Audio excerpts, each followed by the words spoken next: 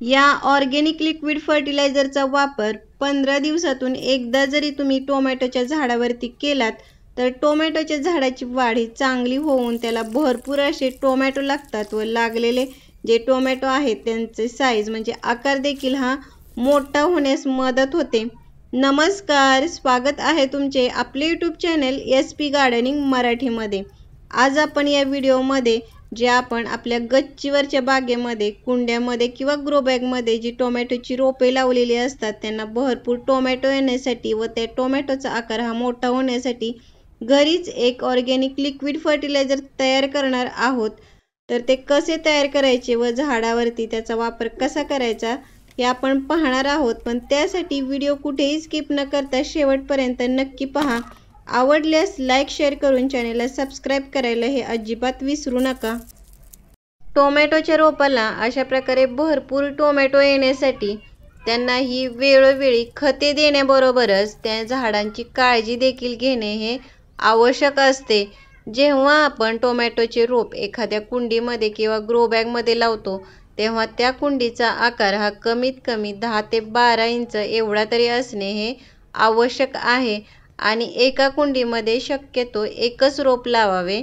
म्हणजे त्या रोपाची वाढ ही चांगली होते आणि त्या रोपावरती टोमॅटो देखील हे भरपूर प्रमाणामध्ये लागतात व त्यांचा आकार देखील हा मोठा होत असतो.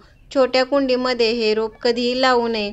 छोट्या कुंडीमध्ये टोमॅटोचे रोप वाढते पण त्याला लागणारी टोमॅटो ही खूप कमी प्रमाणामध्ये असतात व त्यांचा आकार देखील हा छोटाच राहतो. त्याच्यानंतर टोमॅटोच्या झाडाला हे पाणी भरपूर द्यावे. कुंडीतील माती ही कधीही सुकून द्यायची नाही. मातीमध्ये हा नेहमी ओलावा असणे हे गरजेचे आहे. आता उन्हाळ्यामध्ये तर दिवसातून दोन वेळा देखील कधी कधी या झाडाला पाणी देणे हे आवश्यक असते. तर अशा प्रकारे कुंडीतील माती ही थोडी ओलसर राहील याकडे हे लक्ष द्यावे. आता आपण जे खत तयार करणार आहोत ते कसे करायचे? तर हे जे तुम्ही खत पाहताय हे मी केळांच्या सालीपासून तयार केलेले आहे.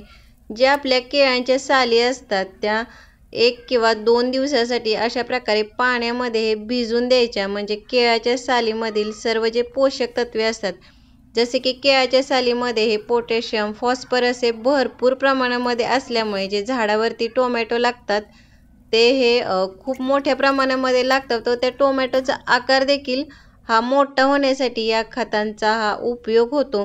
तर अशा प्रकारे हे खत एखाद्या जाळीदार कपड्याने हे गाळून घेतल्यानंतर हे जसंचे तसे आपल्याला हे झाडाला द्यायचे नाही आहे तर ते पाण्यामध्ये हे डायल्यूट करूनच द्यायचे. एक लिटरमध्ये हे अर्धा ग्लास हे जे आपण लिक्विड फर्टिलायझर केळ्यांच्या सालीचं केलेलं आहे ते पाण्यामध्ये मिक्स करून नंतरच हे झाडाला द्यायचे आहे.